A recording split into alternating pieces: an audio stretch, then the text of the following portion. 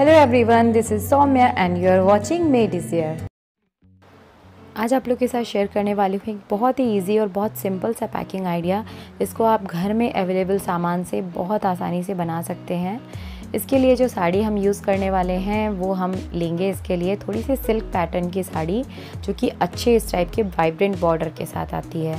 तो यहाँ पर देखिए, जो मैंने साड़ी का सिलेक्शन किया है, वो कुछ इस तरीके से है। यानी उसका जो बॉर्डर है, वो खिला हुआ होना चाहिए और साथ ही उस बॉर्डर पर बहुत ज़्यादा वर्क नहीं होना चाहिए। आप देख सकते हैं, जो मैंने चॉइस किया है, वो थोड़ा सिल्क टच की साड़ी है। आप इस साड़ी के साथ इस पैकिंग आइडिया को ट्राई कीजिए, बहुत ही ज़्यादा खिल के आती है। तो सबसे पहले मैं यहाँ पर साड़ी को हाफ़ फोल्ड कर रही हूँ, देखिए।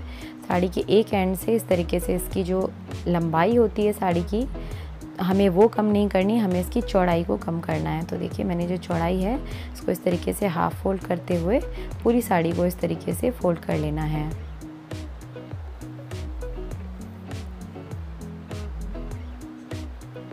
इस तरीके से करने के बाद हम इस पर एक फ़ोल्ड और लगाएँगे और फिर से इस साड़ी को दोबारा से एक बार और फोल्ड करेंगे। यानी देखिए, मैंने साड़ी की जो चौड़ाई है, उसको काफ़ी पतला कर दिया, जैसे कि हम दुपट्टे को करते हैं।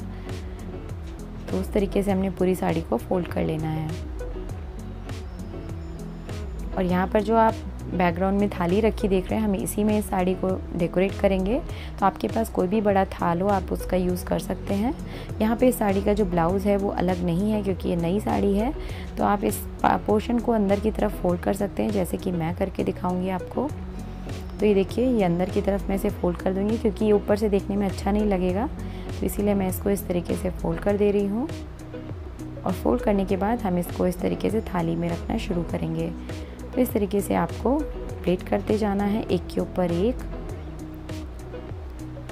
और अगर आपको डिफ़िकल्टी होती है, आपको लग रहा है कि साड़ी आपसे नहीं प्रेस डाउन हो रही है तो आप यहाँ पर छोटी छोटी वाली एल्पेंस का यूज़ कर सकते हैं और उससे इस साड़ी को सिक्योर कर सकते हैं। जब आपकी पूरी डिज़ाइन बन जाए तो आप उसमें पिन की मात्रा कम कर दीजिए या फिर आप बिल्कुल से भी निकाल सकते हैं।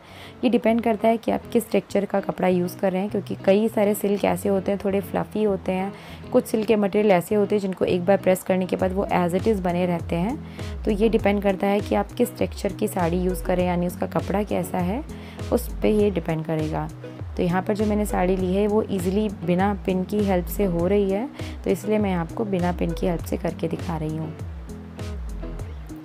अगर आपको पैकिंग बहुत ज़्यादा टाइम के लिए रखनी है या फिर सपोज़ आपके घर में फ़ंक्शन है, वो एक हफ़्ते बाद है तो आप यहाँ पर पेन ज़रूर लगाइए और एंड ऑफ़ द डे आप इसको निकाल सकते हैं as at the time of presentation आप उसको निकाल करके रख सकते हैं। क्योंकि हो सकता है इधर उधर रखने में सामान कभी आपकी पैकिंग बिगड़ सकती है तो आप पहले पिन लगा लीजिए, उसके बाद प्रेजेंट करते समय आप उसको निकाल दीजिए। तो इस तरीके से आप पूरी प्लेट्स को बनाते जाइए। और पूरे थाल को हम इस तरीके से कवर करेंगे ताकि एक फ्लावर शेप पैटर्न क्रिएट हो जाएगा।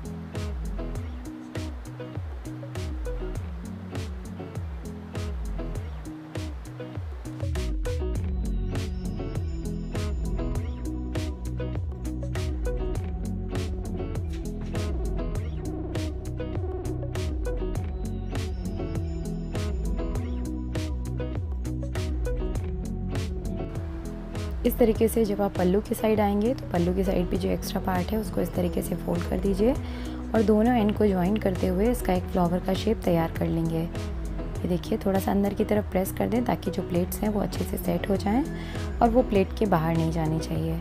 तो अगर आपकी प्लेट थोड़ी छोटे साइज़ की है, जितनी बड़ी मेरे पास इतनी नहीं है तो आप इसकी जो फोल्ड है, यानी जो साड़ी को हमने दो बार फोल्ड किया था, आप तीन बार कर सकते हैं। उसके बाद देखिए मैं यहाँ पर एंड पर इस तरीके से पिन लगा दूँगी। और ये साड़ी पैकिंग बिल्कुल तैयार है। इसके ऊपर आप कोई भी फ्लावर लगा सकते हैं इस तरीके से।